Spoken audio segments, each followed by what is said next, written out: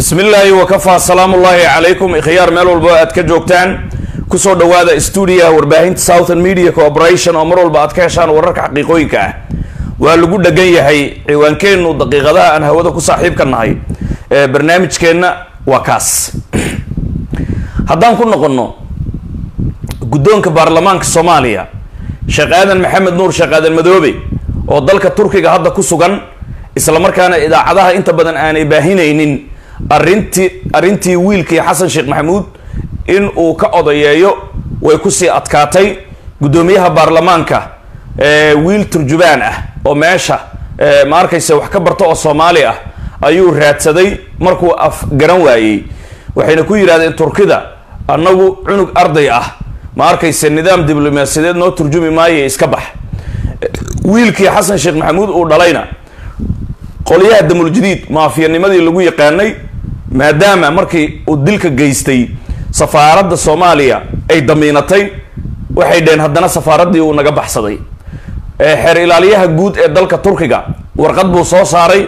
Wuxuu yidhi waxaasi wax sii shaqaynaya ama sii shaqayn doona ma ahan. Arkayse macnihii kuwa safaaradda joogana waa lagu dhegan yahay oo waxaa la yidhi ma arkayse ninkan ha la soo qabto iyagana ma arkayse ha la soo xareeyo. Horta safaaraddii soomaaliya iyo ma arkayse xasan sheekh maxamuud wiilkiisi xaaladda sidaasay noqotay way sii murugsanaatay waxaa dhaantay in sharciga uu hor yimaado isla markaana sharciga lagu qaado.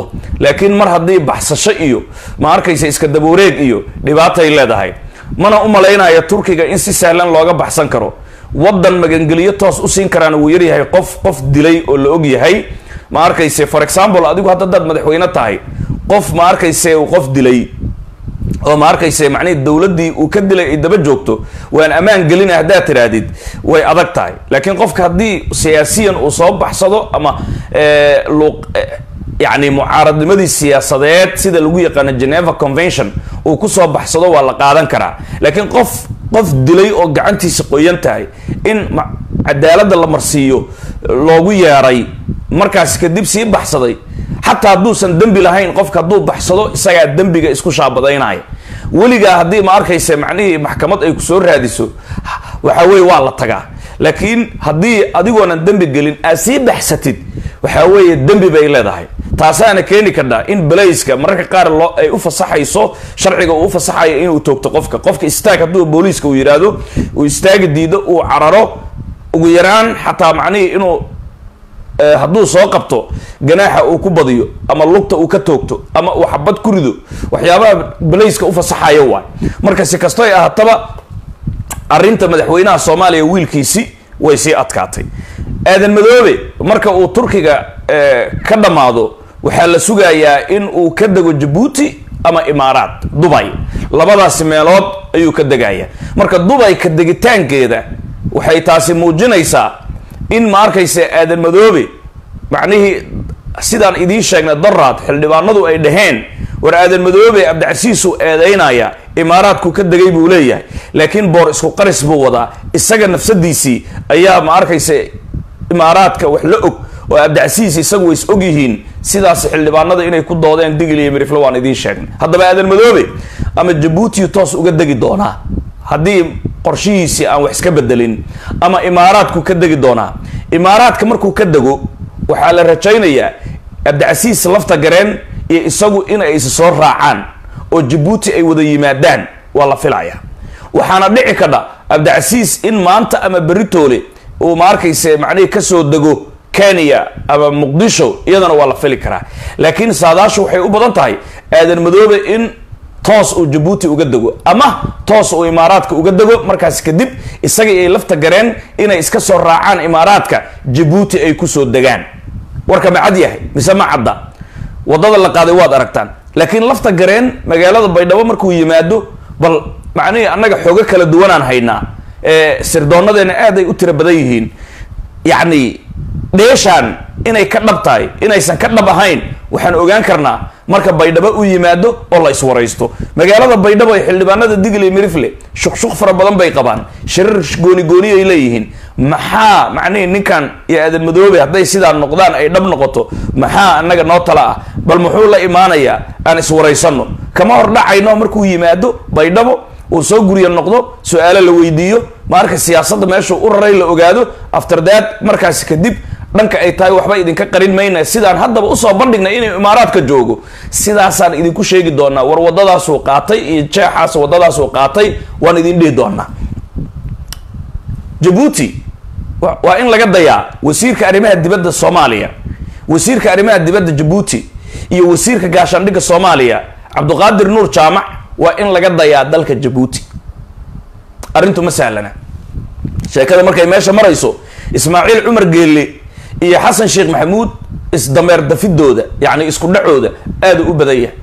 Geelle mar walba qodob buu miiska soo saaraya qodobadii ma arkayse maanta shirka muuqaal baan idiin soo samaynay maanta waan idiin soo dhignay. Shaqo adag baan qabanay haddana saacadihii ugu dambeeyey miiska wuxuu soo saaray.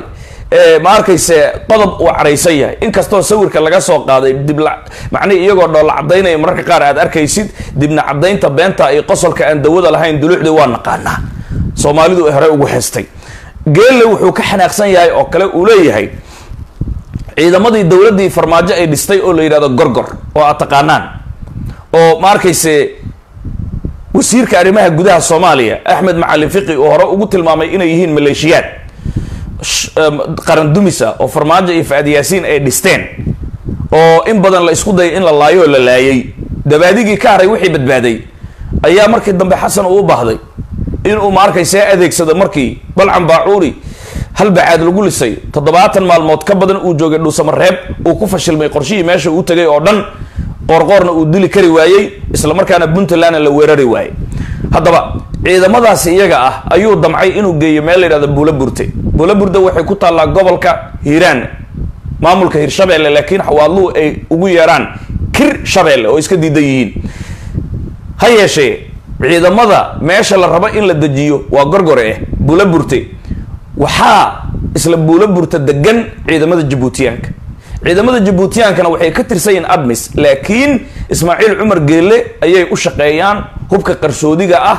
Ma arkayse macnihii shabaabka laga raraayo soomaaliya jabuuti la geynaayo tababarka la soo siinaayo hubka jabuuti ay soo rarto ay soomaaliya shabaabka u gudbinayso cidda fududayso waa iyaka markii etoobiya weerarka lagu qaadayo ciidamadii tigreega iyo shabaabka iyo onalef macnihii markii la fududeynayay. Dee diyaaradda jabuuti oo admis baa fududaysay ciidamada jabuutiyaanka jooga hiiraan baa lagu soo dejiyey markaas kadib baa laga geliyay tieglow halkaa ayay bokool ka galeen afdheer samaale si looga dhigo. Marka ciidamadii jabuutiyaanka ahaa meesha deganaa gorgorna waxaa tababaray turkida soman xasan marka wuxuu damcay inuu buulo burda dejiyo ciidamada gorgor laakiin ciidamadii gorgor iyo turkida shuruud bay keeneen. Waxay dhaheen ciidamadan ma isticmaalaysaa haa saldhigga buulo burda maa geynaysaa haa haddii adigu aad geynaysid ileen.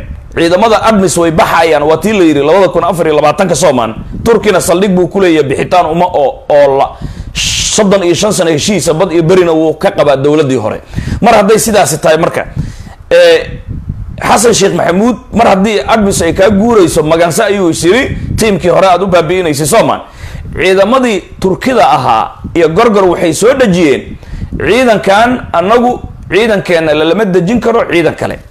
Meesha ay degaayaan waa inay gooni u degaan. Waa in ay iyagu saldhig madax bannaan ay ma arkaysa meeshaasi ammaankooda waa in loo dhiibaa. Laakiin ciidan ciidan lagu qasaayo annagu ma naqaano mas'uuliyaddaasna ma qaadi karayno sidaasay dheheen. Marka turkiga wuxuu dareensan yahay jabuuti iyo geele shaqada ay wadaan ee ah in ciidamada dhabarka laga toogto waa la soo tijaabiyey. Si kastoo ay ahaataba ma arkaysa xasan sheekh maxamuud wuxuu yidhi marka ciidamada jabuutiyaanka ah ha ka guuraan meesha buula burte macnihii ha ka baxaano ciidamada gorgor ee turkiyada uu tababaray ayaa la dejin. Arrinkaas isaga ah ismaaciil cumar geelaa ka xanaaqay marka maqaayadiisaa loogu soo galay ma aragta war dowladnimadii soomaaliya oo dhan horta soomaaliya waxay noqotay muqaayad muqaayaday noqotay muqaayad la kala leeyahay. Ha shisheeyaa meel walba ma arkayse maqaayad maqaayada ah. Wuxuu ku yidhi saaxiib ma waxaad leedahay? Geelaa dhahay. Maantana ma waxaad keentay ciidamada gorgor? Ma arkayse inaad soo kaxaysid kuwii aan ku heshiinay shalay inaan baabi'ino oo haddana ma arkayse macnaha ciidamadaydii jabuutiyaanka meesha aa ka qaadid the decent function. Xasanow taasi ma shaqaynayso. Horta geele qodobkaasaa ugu dambeeyay hadda miiska uu soo saaray caradiisii xasan sheekh maxamuud marka sideebuu u xallin doonaa? Ciidamadan gargor uu doonayo inuu buulo burto dejiyo. Ma ku guulaysan doonaa mise kuma guulaysan doono? Annagu ma naqaano. Laakiin wixii markaasi jira ayaanu sheegayna haddaynu nahay warbaahinta southern media cooperation waay dilla soomaaliya mahad maxamed salaad isagana caradii ugu badnayd ayuu u qaaday xasan sheekh maxamuud. Waxaana uu ballan ku qaaday go'aanna uu ku gaaray in xasan sheekh maxamuud iyo dowladdiisii uu fashiliyo marka. Magaalada muqdishona sida qorshihiisa uu yahay mahad salaad in ay holacduu doonaya. Meel walba waxaa weeye qarax ay noqoto. Qaraxyada markii hore meelaha uu ka soo gelinayay magaalada muqdisho ex control afgooye iyo ceelhuur iyo dhulkaasuu ahaa. Haddee macnihii ex control taliyashu baa degay? Ma arkayse halka loo yaqaano meeshii u deganaa generaal shegow sheegow qaraxyaduu celin jiray isagiina wayba iska xireen. Waxaa weeye qaarkood toogashay ku xukumeen. Beesha jareerweyne waa la buusay. Marka waxaa weeye meeshaasi eeg u bannaan waa. Qaraxyadana meeshaasay ka soo geliyaan. Mahadkaratay ninka la yidhahdana jasiire iyo aagaasi ee gobolka shabeellaha hoose ku jira. Dhulka harooyinka bohlaha ah oo geedaha badan ayaa ciidamo aad u fara badan uu ku haystaa. Ciidamadiisana waxaa u badan digl iyo mirifle oo food soldiers ah. Oo ma arkaysa macnihi maskaxda laga qabsaday oo meel walba gala la yidhahdo amisomta soomaaliya maanta loo yaqaano waxba aan u aaba yeelin. Si kastoo ahaataba waxaa weeye mahad maxamed salaad oo hadda ma arkaysa kursiga ka deg la yidhi maxaa yeelay mahad salaad cadaadis fara badan baa saaran dowladda ingiriiska hadday tahay waxba qarin mayne. Dowladda maraykanka hadday tahay. Dowladda imaaraat hadday tahay. Dowladda qatar hadday tahay. Dowladda etoobiya hadday tahay. Dhammaan dowladaha soomaaliya ma arkaysa saydareeya arrimaheeda maanta ugu cadcad waxay xasan sheekh maxamuud cadaadis ku saareen in ninkaasi uu jagada ka qaado. Marnaba aan lala shaqayn karin la caawin karin sidaasay u sheegeen.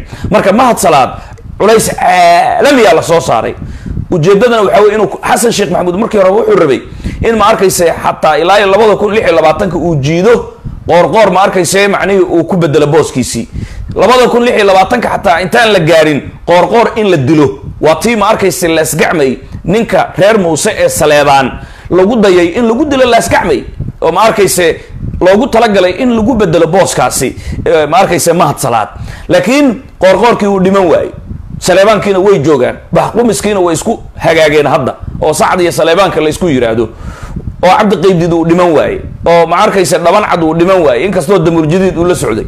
Marka warka haddaan soo koobo ciyaarta hadda waxay taagan tahay mahad maxamed salaad ninka la leeyahay oo kursiga laga dejiyaa isagoo meelna aan gacanta ku haynin. Mahad salaad isaguna wuxuu doonayaa in ma arkayse jagadan sirdoonka uu haysto ama galmudug la geeyo haddaysan taa dhicinna in xamar ay olasho xasan sheekh maxamuud dowladdiisi inay fashilanto. Cod waxaa la helay sida macnihii mahad salaad iyo mahad karataay oo ku heshiinayo dhanka ma arkayse qaraxyada iyo ammaanka magaalada muqdisho waxaana helay waddamada waaweyn.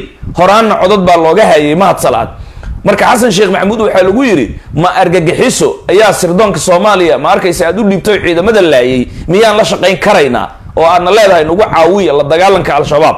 Taasi ma shaqaynayso. Shabaabka villada soomaaliya kuu joogaa. Shabaabka iridda dambe ee villa soomaaliya laga soo geliyaa. Shabaabka xaruntii sirdoonka oo dhan buu joogaa. Shabaabka xarumihii isgaarsiintuu joogaa. Shabaabka xarumaha dhaqaaluhu joogaa. Bangiyaduu joogaa. Haddana waxaad leedahay shabaabaan la dagaalamaya. It doesn't function xasan sheekh maxamuud sidaasaa cad loogu sheegay. Marka walaalayaal madaxweynaha soomaaliya mudane xasan sheekh maxamuud bacdama cadaadis uu saaran yahay ninkan inuu dejiye ay tahay mahad maxamed salaad isaguna waxaa weeye qarax intuu geysan karo. Dowladda xasan sheekh maxamuud lug iyo gacan intuu ka jari karo dhaqaaqeeda oo dhan sidaasuu qorshaystay. Si uu u maamulo dowladdan xasan sheekh maxamuud si uu galmudug u qabsado wuxuu ku dadaalay in xasan sheekh maxamuud xataa gabar uu siiyo. Waa tii gabar uu adeer u yahay ma arkayso uu aroosiyey dhuusamareeb markuu joogay.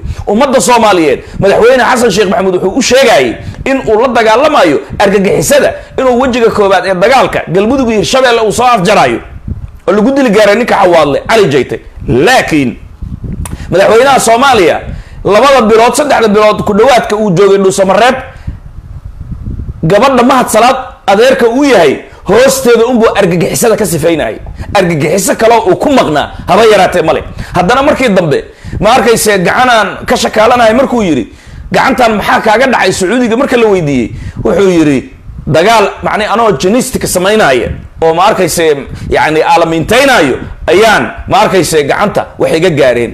Halka saaxiibadiisana ay dhaheen madaxweynaha wuxuu ku dhaawacmay isagoo argixisada aadan yabaal kula dagaalamayo marka dagaalka janestikada uu sheegaayo iyo dagaalka uu xasan sheekh maxamuud noo sheegaayo inuu shabaab kula jiray waxay ahayd gabadha mahad salaad adeerka uu yahay lugeeda hoosteeda argagixiso xooggan ayaa ku jirtaa layidhi argagixisadaasi xooggan ayuu ka sifaynaya marka sidaasi awgeed argagixisadiyaa ka dhaawacday